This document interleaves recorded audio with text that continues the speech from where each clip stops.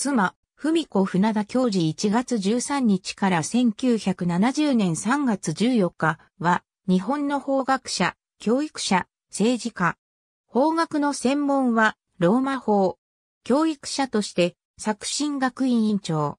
政治家として、衆議院議員、行政管理庁長官、賠償庁長官。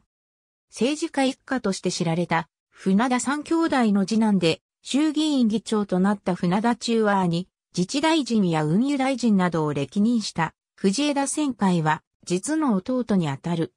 また、夫人の船田文子は主婦連副会長を務めた。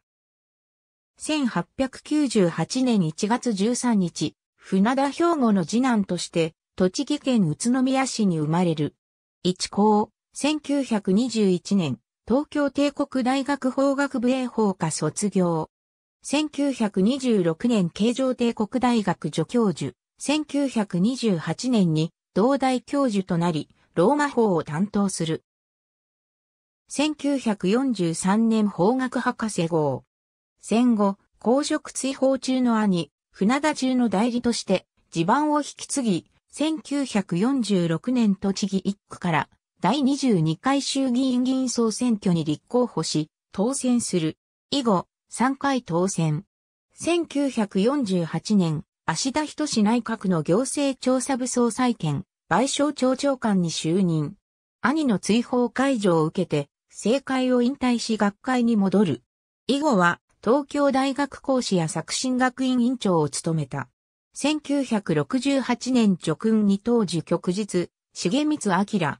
1970年3月14日、72歳で死去。ノブ13位、叙勲一等受随法賞。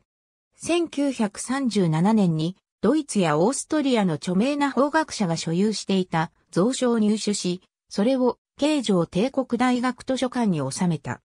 船田の寄贈書は現在のソウル大学校図書館に引き継がれ、世界の法学界においても貴重な資産となっている。